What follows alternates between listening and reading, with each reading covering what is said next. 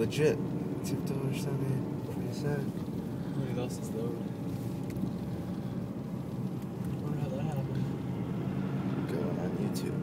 It looks like the driver's alright. Someone was involved in the accident.